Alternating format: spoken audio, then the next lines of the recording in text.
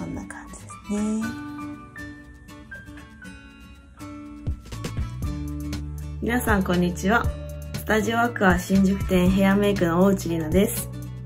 今日はちょっとウィッグを使って編み下ろしの簡単アレンジをしていきます。まずはこの状態から毛先を全体的にミックスで巻いていきます。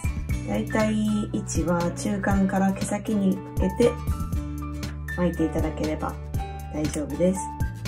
手を滑らしてちょっと髪にこうツヤを出しながら毛先がちょっとこう負けてないと最後仕上がった時にまっすぐの毛が出てきてしまうのでしっかり毛先も巻いてあげてください。こんな感じですね。これを全体的にやっていきます。はいこんな感じでミックスに分ければ最初の段階は OK です。トップもベースを巻いていきます。高い位置からだいたい4箇所から5箇所ぐらい熱を入れていきます。で、これも毛先と同じ巻きで、ちょっとこうカールつけたら、カールをこう抜くような巻きのやり方を入れてミックスで巻いていきます。こんな感じで熱をこうやっていったら、ちょっとほぐしていきます。今度は髪の分け目を耳の上あたりから軽く取ってもらって、それ以外の髪は全部下の1箇所で結んでいきます結んだらもうここで締まりが出るのでもう一回巻いた部分と巻いてない部分もそのまま引き出してちょっとこう全体的にほぐしていきます。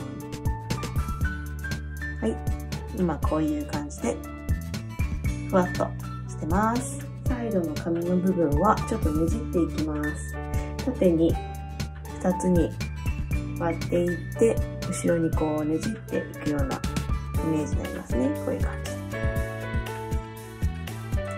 ねじっていったらねじった毛束もちょっとこうふわっと引き出してもらって全体のふわっと感と合うように引き出していきますここで軽く止めておきます反対側も同じですね引き出すときは、この下に向かって引き出すのがポイントです。一緒に全部まとめて、ゴムで結んでいきます。で、こう結んだとき、例えばこう横から見たときにもうちょっとこう引き出したいなっていう部分があれば、ゆっくりちょっと指で引っ張って、バランスを見ながらやっていきます。編み下ろしていきます。まずは裏編みしていきます。裏編みっていうのは三つ編みみたいに三つに割って自分の背中方向に編んでいくやり方です。で、まあ大体毛先、まあ、半分以上ぐらい残った部分でゴムを一回していきます。ゴムしたらちょっとバランスを見ながら引き出していきます。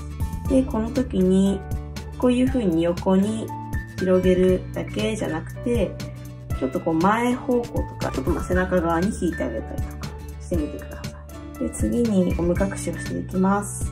ゴム隠しをするときのポイントとしては、ゴムの一番上の部分、取ってもらって、毛束を少し取ります。で、毛束をこのゴムにぐるーっと巻きつけてもらって、まあ大体2周ぐらいしたら、このゴムの隙間に毛束をしまっていくと、簡単にゴム隠しができます。あとはまたこちらも同じく裏編み、三つ編みをもう一回していきます。で、ここももう一回ゴムしていきます。はい、ゴム隠ししたら、またちょっとここも同じように引っ張って、ふわっとさせていきます。こんな感じですね。で、最後のこの部分ももう一回ゴム隠ししていきます。こんな感じになります。あと最後、毛先を整えていきます。この時点で毛先がもう好きなニュアンスだったらそのままでもいいし、あ、やっぱりもうちょっと足したいなって思うのであれば、絹ヌージョのアイロンを使って巻いていきます。こういった感じでスタイルは完成です。最後にアクセサリーつけていきます。クリップタイプのアクセサリーをこのゴムの部分にかませるように最後つけていきます。これでスタイルは完成になります。こんな感じですね。